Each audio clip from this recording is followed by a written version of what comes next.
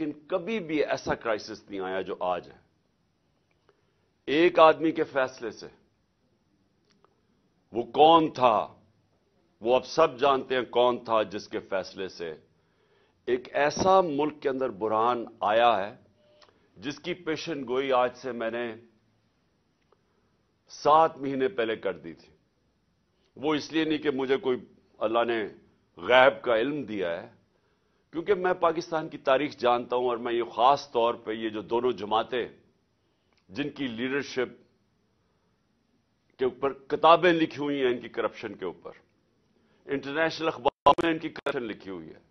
सिर्फ़ यही देख लें कि इन दोनों ने एक दूसरे के मुतलक क्या कहा है। बीस साल ये एक दूसरे को चोर कहते रहे और दोनों ही सच बोल रहे थे। इनकी गवर्नमेंट नब्बे की दिहाई में दो दो दफ़ा करप्शन में गई। तो जब ये दो करप्ट खानदान ऊपर बैठे थे तो आप याद रखें कि हिंदुस्तान नब्बे की दिहाई में पहले हमारे से आगे निकला। नब्बे की दिहाई से पहले हमेशा पाकिस्तान आगे था।